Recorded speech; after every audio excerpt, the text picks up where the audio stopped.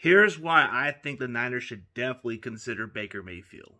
I don't know if this is going to be possible, but you never know. All it takes is teams to pass on players. But he has to clear the the waivers. And there's a couple of teams who are going to want him. But let's just pray that maybe he gets passed by and we somehow get him. I think this would be a brilliant move. And here's why. We don't know what to expect from Brock Purdy, but it doesn't hurt to have another quarterback who's got a lot of experience and who can probably benefit under Kyle Shanahan. A guy like Brian Griese, he can probably coach this kid even better. Like, let's be fair.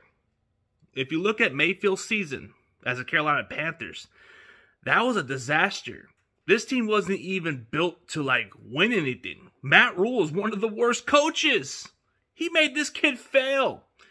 If you look at the fair stats in Cleveland, he actually won them their first playoff game. So let's not forget about that shit. If he just had a better coach and a better supporting cast like he had before, can you imagine what he can be under Shanahan on this short term situation? I'm not saying let's just bring him in as a starting quarterback. I'm not saying that. I'm saying it wouldn't hurt to at least bring this guy in as a backup. So if something happens, you know, we want to keep this season running. We want to have a Super Bowl run. We want to hoist that six Lombardi, but we want to keep this season alive. And this defense can keep us alive. But all we need is another quarterback depth. Just another quarterback depth, and we ain't dead. We ain't dead until the season's over, like they say. But Baker Mayfield, just imagine what Shanahan could do with this kid. The guy's aggressive. He's a downfield thrower. He's not afraid of taking deep shots. This is a guy that can win you games. But you're looking at the, the, the previous games that he's played in Carolina. Look at what they got in Carolina. That's crap. Like, to be fair, the coach sucks. Everything around him just sucked there. Like, how is he going to succeed there? That was going to be hard. You know, I think when you look at it this way, here's what can happen to Baker Mayfield.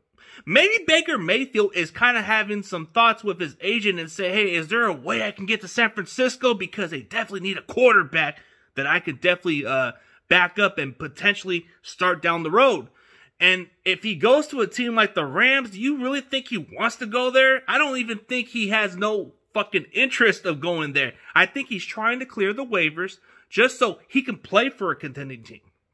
So I think he knows there's going to be teams like Houston, there's going to be teams like the Rams, but maybe the way Mayfield might play, he might try to look like crap to them and say, I'm not interested. Sorry, I just want to go to a contending team. I like what I'm seeing from the Niners. I want to go there. Maybe he'll fucking purposely mess up the physical shit with them and then try to come to us. Maybe that's the case. But I'm saying, you just don't know. A lot of you guys that don't like my fucking Sooners, bro, you guys are fucking stupid. You you haven't ever seen Baker Mayfield fucking lose in Oklahoma. Baker Mayfield is a proven winner. They got a fucking statue in Oklahoma. But some of you guys don't like him because he played at Oklahoma or because the fact he's too cocky and arrogant, bro. That's the part of playing the quarterback position. You have to be arrogant. You have to have confidence at that position. If you don't have confidence, bro, then why the fuck are you playing quarterback?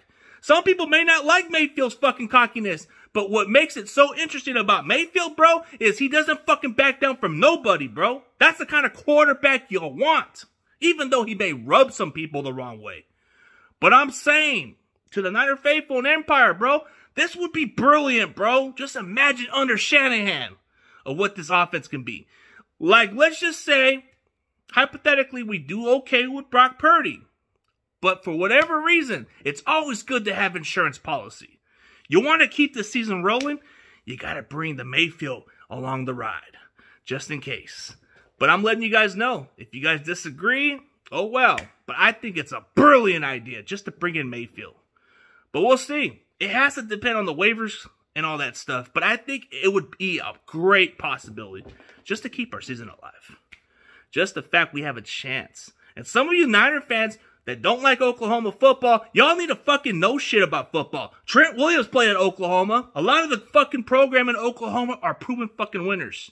They know how to play football. They don't lack confidence. They fucking go with confidence, bro. They play with fucking confidence and moxie out there too. So, I just want to put that out there. But I'm telling you, you can't go any worse with Mayfield as your backup quarterback at this point of his career. But let me know what y'all think, and if y'all disagree, it's all right. But I'm preaching for this shit. I'm campaigning for fucking Mayfield to go on to this this journey, bro. I'm campaigning this shit. Come on, man. Let's get Mayfield a fucking a, a better supporting cast. I want this guy. I will be jumping for fucking joy if we get this guy. I'll be fucking pumped up. One of my favorite Oklahoma Sooners of all time going to the Niners would be fucking great. That would be a great early Christmas gift just to get this guy on this red and gold. He doesn't have to fucking start, but at least he'd be good insurance policy. You know what I mean?